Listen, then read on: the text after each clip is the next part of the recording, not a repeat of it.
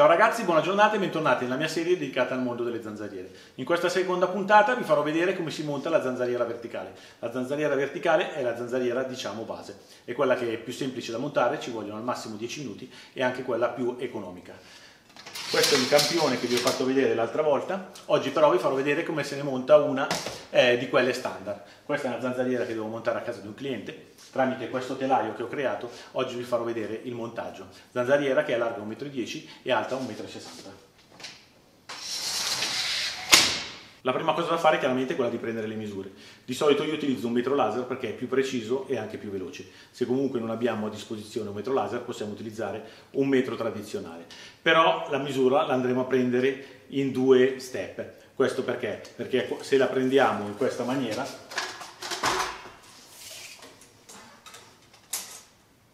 come vedete nell'angolo si formerà una piega e non si riuscirà a prendere la misura in maniera perfetta. E visto e considerato che le misure per le zanzariere vanno prese larghezza meno 3 mm, dobbiamo prendere le misure in questa maniera.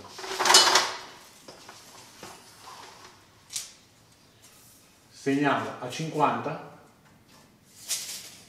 e poi andremo a prendere la seconda misura. Chiaramente poi aggiungeremo eh, al 50 il rimanente la misura dell'altezza, chiaramente faremo la stessa identica cosa. Quella la misura è alta, quindi posso fare anche 100, 100 più 60 e mezzo, quindi 160 e mezzo. In altezza possiamo togliere anche mezzo centimetro, quindi faremo eh, 110 che è la larghezza per 160 che è l'altezza. All'interno del pacco troveremo chiaramente il cassonetto che comprende la molla, la frizione, e il telo. Il telo va sempre posto alla parte esterna dal muro. Come vedete ci sarà compresa questa linguetta che ha due buchi, in questi due buchi fisseremo la, la zanzariera, quindi il cassonetto al muro, il muro sarà messo in, post, in questa posizione. Poi troveremo chiaramente le due guide e due tappi per il collegamento del fine corsa eh, del telo. I tappi vanno collegati in questa maniera. Questa è la parte esterna. Come vedete questa linguetta è più lunga, serve per farci capire che il senso del tappo è giusto, perché se il tappo sarà posto in questa parte non appoggerà il muro e quindi la, la guida sarà tenuta staccata. La prima cosa da fare è fissare il cassonetto. Il cassonetto viene fissato tramite queste due linguette che sono poste ai lati del cassone. In queste due linguette troveremo due fori, quindi cosa faremo? Appoggeremo il cassonetto al soffitto e con una matita segneremo dove andremo a fare i fori. Ora vi faccio vedere.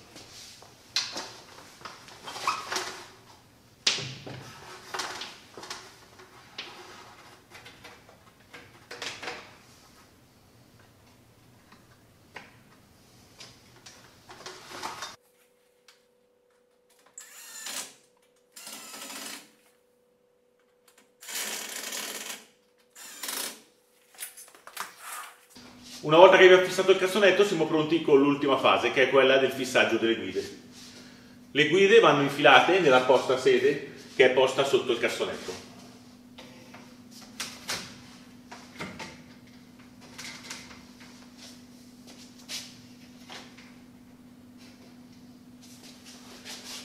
Anche qui cosa faremo? Segneremo il, il punto dove andremo a forare, quindi segniamo prima con la matita tutti e quattro i fori.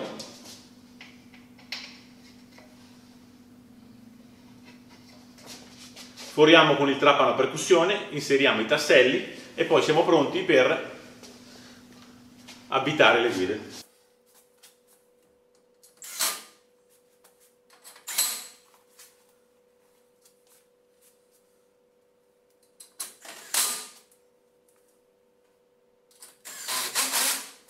Una volta che anche le guide sono state fissate, siamo pronti per testare la zanzariera. Come avete visto montare una zanzariera base, quindi una zanzariera verticale, ci vogliono meno di 10 minuti. È la zanzariera più semplice da montare. Settimana prossima vi farò vedere come si monta una zanzariera laterale. Le zanzariere laterali di solito si montano sulle porte finestre. Questa è la zanzariera che monteremo la settimana prossima La comunità di questa zanzariera qual è? È che ha due maniglie, quindi una maniglia è posta all'esterno e una all'interno, questo serve chiaramente per quanto, perché quando usciamo eh, fuori eh, sul balcone possiamo chiudere la zanzariera. In più, cosa ha di particolare questo modello? Eh, questo modello ha di particolare il fatto che non ha una guida posta eh, per terra. Spero che vi iscriviate al canale, così ci vedremo la prossima settimana per il montaggio di questa favolosa zanzariera. Buona giornata.